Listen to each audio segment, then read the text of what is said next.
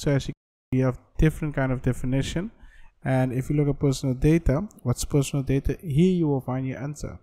So location data, for example, or I have a dream, that's all I need I'll make it happen with some work and belief Hi, welcome. Welcome to this series of videos. In this series of videos, I will talk about privacy in Europe.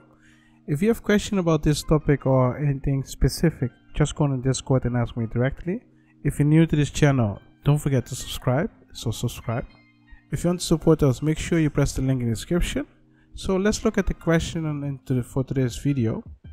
The question is, what is meant by personal data? So technically, people do not understand what personal data is. I'm going to show you how it works, where you can find the information about that. So let's go to Google.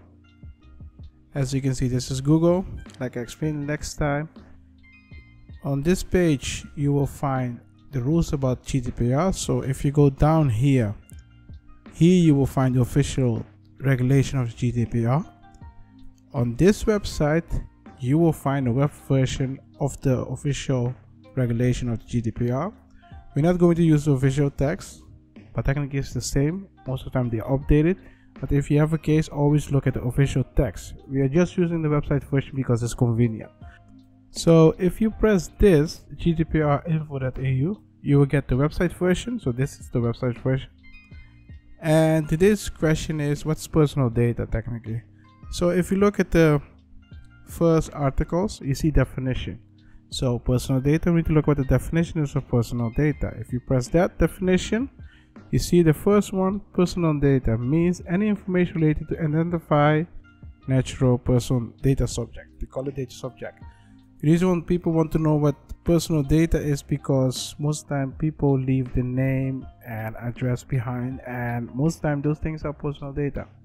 So here they explain what personal data is.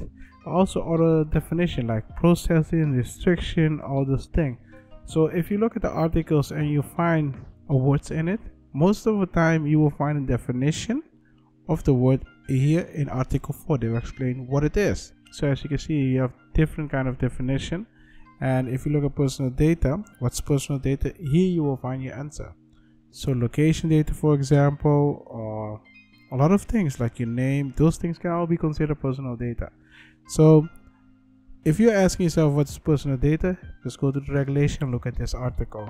If you still don't understand it, just go on Discord and ask me directly. So let's recap. In this video, I explained to you where you can find the rules about regulation. I also explained to you where you can find the definition of personal data in the regulation. If you have questions about this, just go on Discord and ask me directly. If you are new to this channel and you like this kind of content, make sure you subscribe. If you want to support us, make sure you press the link in the description. I will see you in the next video. I have a dream, that's all I need I'll make it happen with some work and belief Know mistakes, but mistakes make you strong. Let's break it down for a minute. I want the crown, I'm gon' get it. You hear me loud, man, I'm winning. Yeah, Charlie Sheen will be